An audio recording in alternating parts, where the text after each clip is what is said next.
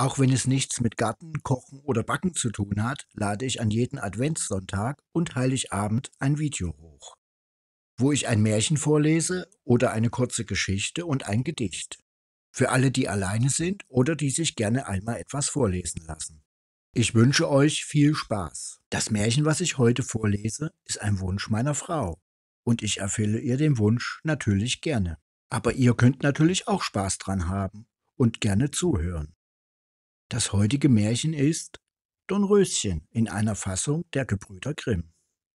Vor langer Zeit lebten ein König und eine Königin. Die sprachen jeden Tag, ach wenn wir doch ein Kind hätten, und kriegten immer keins.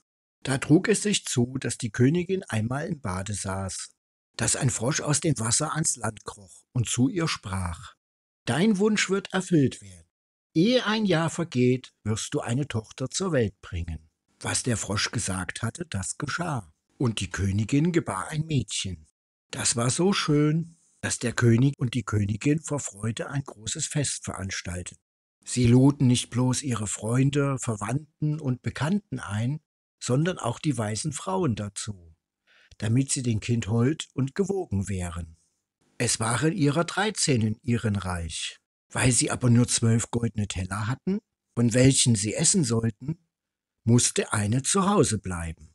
Das Fest wurde mit aller Pracht gefeiert, und als es zu Ende war, beschenkten die weißen Frauen das Kind mit ihren Wundergaben. Die eine mit Tugend, die andere mit Schönheit, die dritte mit Reichtum und so mit allem, was auf der Welt zu wünschen ist. Als die Elfte ihre Sprüche eben getan hatte, trat plötzlich die Dreizehnte herein. Die wollte sich dafür rächen, dass sie nicht eingeladen war, und ohne jemand zu grüßen oder nur anzusehen, rief sie mit lauter Stimme. Die Königstochter soll sich in ihrem achtzehnten Jahr an einer Spindel stechen und tot hinfallen.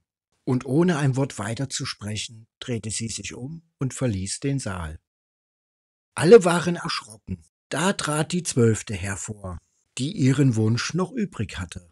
Und weil sie den bösen Spruch nicht aufheben konnte, sondern nur mildern, sagte sie, es soll aber kein Tod sein, sondern ein hundertjähriger tiefer Schlaf, in welchen die Königstochter fällt. Der König, der sein Kind liebte und vor den Unglück gern bewahren wollte, erließ den Befehl, dass alle Spindeln im ganzen Königreich verbrannt werden. An den Mädchen aber wurden alle Gaben der weisen Frauen sämtlich erfüllt. Denn es war so schön, sittsam, freundlich und verständig, dass es jedermann, der es ansah, liebhaben musste. Es geschah, dass es an dem Tage, wo es gerade achtzehn Jahre alt ward, der König und die Königin nicht zu Hause waren und das Mädchen ganz allein im Schloss zurückblieb. Da ging es allerorts herum, besaß Stuben und Kammern, wie es Lust hatte, und kam endlich auch an einen alten Turm. Es stieg die enge Wendeltreppe hinauf und gelangte zu einer kleinen Tür. In dem Schloss steckte ein verrosteter Schlüssel, und als es den Schlüssel umdrehte, sprang die Tür auf, und da saß in einem kleinen Stübchen eine alte Frau und spann mit ihrer Spindel emsig Flachs. Guten Tag, du altes Mütterchen, sprach die Königstochter. Was machst du da? Ich spinne, sagte die Alte und nickte mit dem Kopf. Was ist das für ein Ding, was da so lustig herumspringt? sprach das Mädchen, nahm die Spindel und wollte auch spinnen. Kaum hatte sie aber die Spindel angerührt, so ging der Zauberspruch in Erfüllung, und sie stach sich damit in den Finger. In den Augenblick aber, wo sie sich stach, fiel sie auf das Bett nieder, das da stand, und fiel in einen tiefen Schlaf. Und dieser Schlaf verbreitete sich über das ganze Schloss. Der König und die Königin, die eben heimgekommen waren und in den Saal getreten waren, fingen an einzuschlafen. Und der ganze Hof starb mit ihnen. Da schliefen auch die Pferde im Stall, die Hunde im Hof, die Tauben auf dem Dach, die Fliegen an der Wand, ja das Feuer, das auf dem Herd flackerte, ward still und schlief ein. Und der Braten hörte auf zu brutzeln. Und der Koch, der den Küchenjungen, weil er etwas falsch gemacht hatte, eine Ohrfeige geben wollte, ließ ihn los und schlief ein. Und auch der Wind regte sich nicht mehr. Und auf den Bäumen vor dem Schloss regte sich kein Blatt mehr. Rings um das Schloss aber begann eine Dornenhecke zu wachsen, die jedes Jahr höher wurde und endlich das ganze Schloss umzog und darüber hinaus wuchs, dass gar nichts mehr von dem Schloss zu sehen ward, selbst die Fahne auf den Turme nicht. Nach vielen, vielen Jahren, als das Schloss hinter der Hecke nicht mehr zu sehen ward, ging die Sage durch das Land von den schönen schlafenden Dornröschen, so dass von Zeit zu Zeit Königssöhne kamen, um durch die Hecke durchzudringen und in das Schloss zu gelangen. Es war ihnen aber nicht möglich, denn die Dornen, als hätten sie Hände, hielten sie fest, und die Königssöhne blieben darin stecken, konnten sich nicht wieder losmachen und starben eines jämmerlichen Todes. Nach vielen Jahren kam wieder einmal ein Königssohn in das Land, und hörte, wie ein alter Mann von der Dornhecke erzählte. Es sollte ein Schloss dahinter stehen, in welchen eine wunderschöne Königstochter, Dornröschen genannt, schon seit hundert Jahren schliefe, und mit ihr der König und die Königin und der ganze Hofstab. Er wusste auch von seinem Großvater, dass schon viele Königssöhne gekommen waren und versucht hätten, durch die Dornenhecke durchzudringen aber sie wären darin hängen geblieben und eines traurigen Todes gestorben.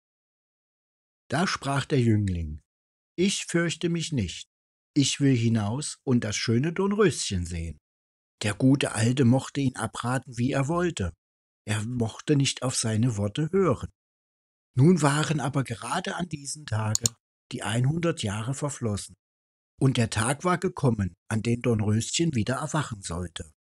Als der Königssohn sich der Dornhecke näherte, waren es lauter große schöne Blumen. Die taten sich von selbst auseinander und ließen ihn unbeschädigt hindurch, und hinter ihn taten sie sich wieder als Hecke zusammen. Im Schlosshof sah er die Pferde und Jagdhunde liegen und schlafen.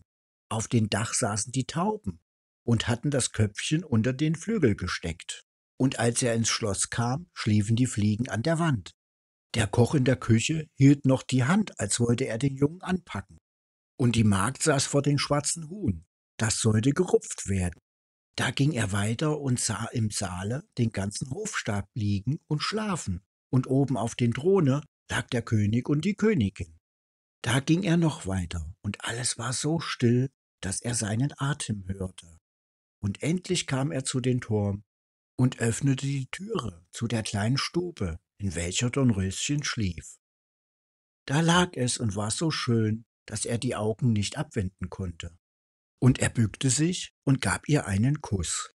Und als seine Lippen die ihren berührte, schlug Dornröschen die Augen auf und blickte ihn ganz freundlich an. Da gingen sie zusammen herab, und der König erwachte und die Königin und der ganze Hofstab und sahen einander mit großen Augen an. Und die Pferde im Hof standen auf und rüttelten sich. Die Jagdhunde sprangen und wedelten. Die Tauben auf dem Dach zogen das Köpfchen unter dem Flügel hervor, sahen umher und flogen ins Feld. Die Fliegen an der Wand krochen weiter, das Feuer im Herd erhob sich, flackerte und kochte das Essen. Der Braten fing wieder an zu brutzeln, und der Koch gab den Jungen eine Ohrfeige, dass er schrie, und die Magd rufte das Huhn fertig. Und da wurde die Hochzeit des Königssohns mit den Dornröschen in aller Pracht gefeiert, und sie lebten vergnügt bis an ihr Ende. Ich hoffe, ich konnte euch damit eine Freude machen und etwas Spaß in die Weihnachtszeit bringen. Meine Familie und ich wünschen euch, bleibt gesund, habt eine schöne Weihnacht und kommt gut ins neue Jahr.